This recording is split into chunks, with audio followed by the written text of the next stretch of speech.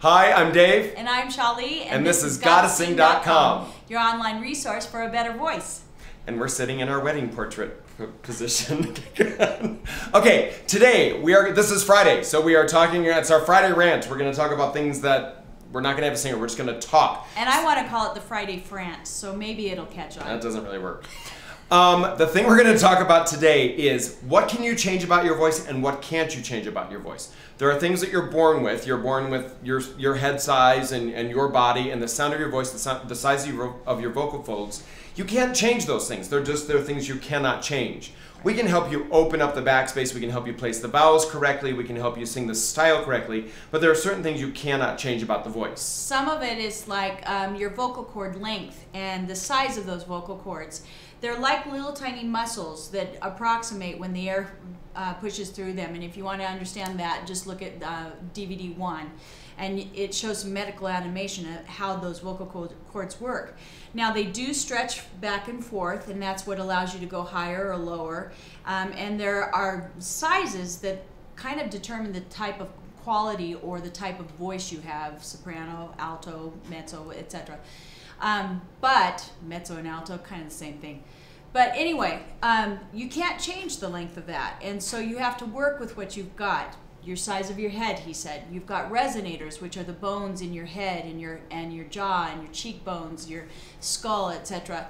Um, those you can't change unless you want to go ahead and have major surgery. Otherwise, you have to work with what you've got. Now, what we do is we work with technique. And so, if you have a shrill voice, or if you have a nasal sound, or if you have things like that, those are the things that a voice teacher can work on.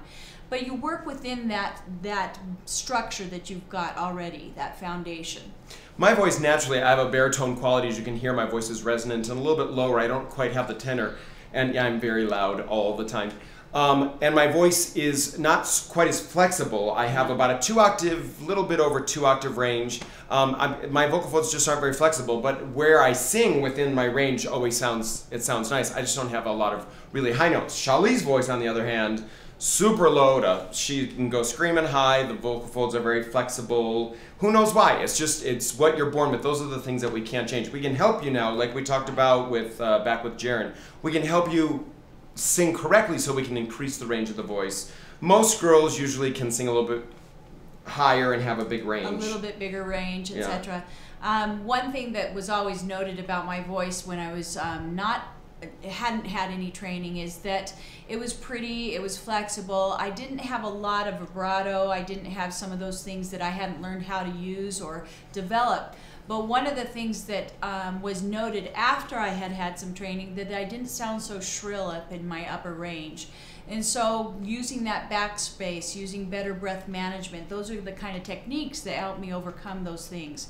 So it it didn't change what my voice is. It didn't change the length of my vocal cords or anything. I just changed the way I actually produced that sound so that it was a warmer sound even up in the higher ranges. And this is something that drives us crazy is when someone will come to us and they want to sound like a particular singer. Right. You know, you pick your favorite singer and I want to sound like that singer. We can't make you sound like that. You're you. You you have your own particular sound. Plus, if that singer's already famous, why do we need another one? We need your unique voice right. to, you know, to become the next big voice. So Let's don't see ever your name on that billboard. exactly. don't ever try to sound like someone else. Make sure your voice is really unique and make it the best voice you can.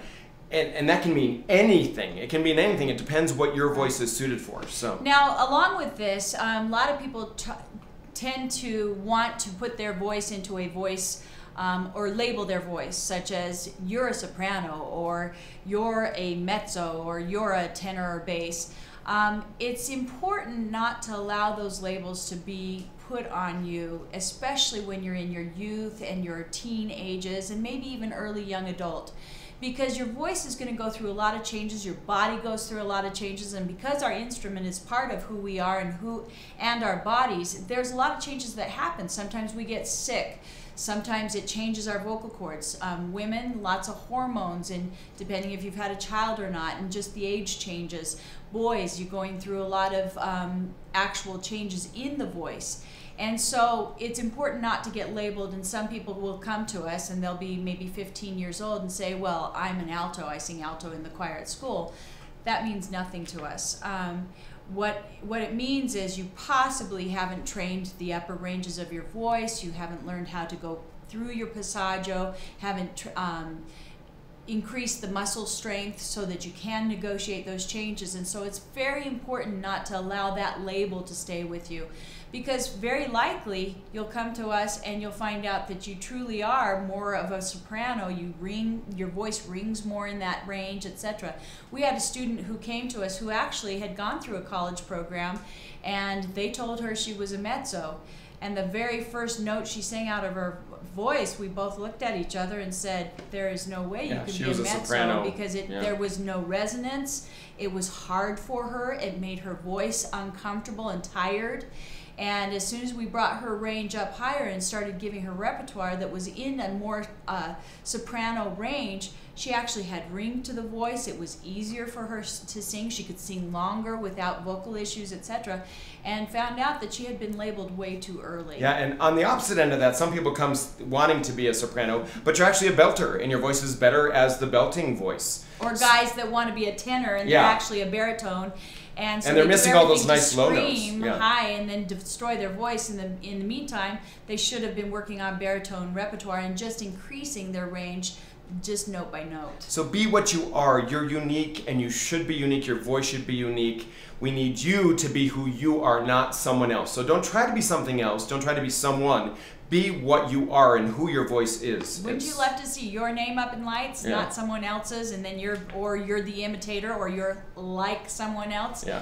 how about your voice being that unique voice So on that note, get in your DVDs and practice. And practice remember- makes permanent. yes, yes, it does, and make sure it's good practice. It's practice of good technique, Yes. um, so that that permanent technique is something that will you can utilize the rest of your life. And remember that technique is is absolutely vital. Everything. And if you have a question or you want something to change in your voice, let us know. See ya.